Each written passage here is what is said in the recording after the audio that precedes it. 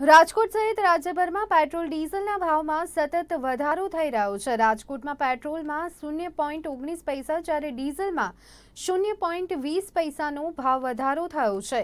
રાજકોટમાં છેલ્લા દોઢ મહિનામાં પેટ્રોલમાં અંદાજે સાત રૂપિયાનો ભાવ વધારો થતાં પેટ્રોલની કિંમત ચોરાણું પોઈન્ટ ત્રેવીસ રૂપિયા, જ્યારે કે ડીઝલમાં અંદાજે આઠ રૂપિયાનો ભાવ વધારો થતાં ચોરાણું પોઈન્ટ છ્યાસી રૂપિયાએ પહોંચી જવા પામ્યો છે. સતત વધી રહેલા પેટ્રોલ ડીઝલના ભાવના કારણે લોકોને મોંઘવારીનો માર સહન કરવો પડી રહ્યો છે.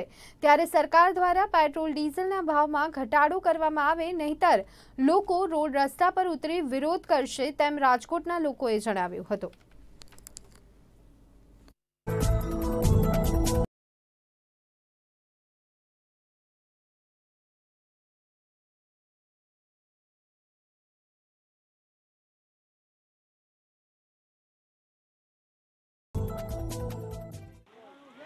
પેટ્રોલ અને ડીઝલની કિંમતમાં સતત ભાવ વધારો છે તે સામે આવી રહ્યો છે. ત્યારે લોકોને મોંઘવારીનો માર છે તે સહન કરવો પડી રહ્યો છે. પેટ્રોલની કિંમતમાં ઓગણીસ પૈસા, જ્યારે ડીઝલની કિંમતમાં વીસ પૈસાનો ભાવ વધારો છે તે સામે આવ્યો છે. પેટ્રોલની અંદર ઓગણીસ પૈસાનો ભાવ વધારો થતાં પેટ્રોલની કિંમત છે તે ચોરાણું રૂપિયા અને ત્રેવીસ પૈસાએ પહોંચી જવા પામી છે. તો ડીઝલની કિંમત છે તે પંચાણું રૂપિયા ઉપર પહોંચી જવા પામે છે. હાલ અત્યારે પેટ્રોલ અને ડીઝલની કિંમતમાં જે સતત ભાવ વધારો થઈ રહ્યો છે, તેને કારણે લોકોને પારાવાર મુશ્કેલીનો સામનો પણ કરવો પડી રહ્યો છે. આપણે લોકો સાથે સીધા વાત કરીશું. શું કહેશો? હાલ અત્યારે પેટ્રોલ અને ડીઝલની કિંમતમાં ભાવ વધારો સામે આવી રહ્યો છે. લોકોને મુશ્કેલી થઈ રહી છે. અત્યારે તો મહામારીમાં બહુ પેટ્રોલનો ભાવ વધી ગયો છે અને ડીઝલનો પણ ભાવ વધી ગયો છે. જો હવે એવા દિવસો આવશે કે માણસો છે ને ઘોડાગાડીમાં આવશે. બાઇકની બધી મૂકી દેશે ફોર વ્હીલ ને એવું બધું તો એના એટલે સરકારને એટલી નમ્ર વિનંતી છે કે પેટ્રોલનો ભાવ, ડીઝલનો ભાવ, ગેસનો ભાવ, બધો ભાવ એને ઓછો કરે. જેથી કરીને નાની નાની પ્રજાને છે ને વાંધો ન, તકલીફ ન પડે. અત્યારે મહામારી બહુ ચાલી રહી છે કોરોનાની હિસાબે. અને કે નોકરી ધંધા છે નહીં. એટલે તો સરકારને એટલી નમ્ર વિનંતી અપીલ છે કે આ ભાવ છે ને જરાક ઘટાડે. એટલે હે ને બધા રાહત મળે નાના માણસો, નાના વર્ગને, સામાન્ય માણસને. પણ નાના વર્ગને રાહત મળે તે માટે પેટ્રોલ અને ડીઝલની કિંમતમાં ભાવ વધારો આ શું કહેશો કાકા? એક વર્ષ દરમિયાન કોરોનાની મહામારી અને ત્યારબાદ જે હજી જનજીવન છે સામાન્ય બની રહ્યું છે, ત્યારે પેટ્રોલ અને ડીઝલમાં કિંમતમાં ભાવ વધારો કરવામાં આવી રહ્યો છે. લોકો ઉપર મોંઘવારીનો માર પડી રહ્યો છે. ના, ખરી વાત છે. મહામારી એ તો કુદરતી છે, પરંતુ આ પેટ્રોલ ડીઝલના ભાવ એ માનવ સર્જિત છે. આ જેને કહીએ કે આ માણસોએ ઊભી કરેલી આ મોંઘવારી છે, અને હું તો એમ કહું છું કે લોકોએ હવે રોડ ઉપર આવવું પડશે.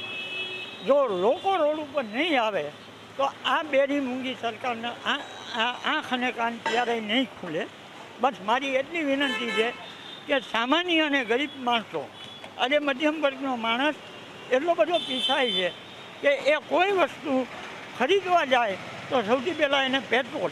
અને આજે એક ઘરની અંદર બે ત્રણ સ્કૂટરો હોય છે સામાન્ય રીતે, તો એ લોકોને પોસાય એવું નથી. તો આ બેરી મૂંગી સરકાર ઝડપથી આ અંગે આવે ને અંદર લોકોને હું અપીલ કરું છું કે તમે રસ્તા ઉપર આવી જાઓ. બે બાબત બને. એક તો હાલીને નીકળ્યા છે અને આ સરકારને પણ અહીંથી હાલી અને કાઢી મૂકાશે. એ જ મારી આ અપીલ છે.